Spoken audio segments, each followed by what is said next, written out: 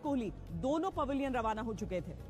एक दफ़ा थोड़ी देर के लिए मैच में लगा जब हार्दिक पांड्या रन बना रहे थे लेकिन छह विकेट तब भी गिर चुके थे।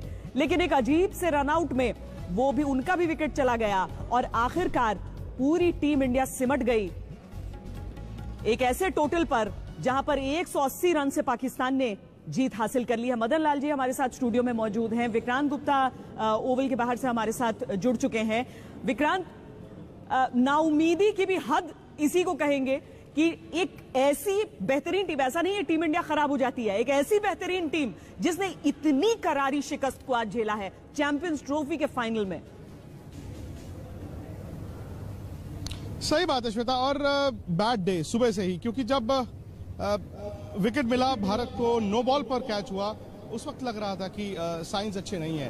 पाकिस्तान की पहले तारीफ़, क्योंकि एक ऐसी टीम जो नीचे से ऊपर आई, एक ऐसी टीम जो दो साल पहले इसलिए क्वालिफाई कर पाई थी क्योंकि वो जिम्बाब्वे नहीं गई।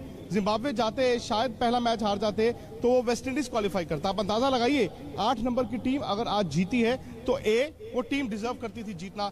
दूसरी बात ये कि भारत ने आज वाकई में वो कहते हैं ना कि हाथ में प्लेट में डालकर उनको मैच दिया। टॉस जीतकर आपको पहले गेंदबाजी करनी थी, वो सही था फैसला। लेकिन आज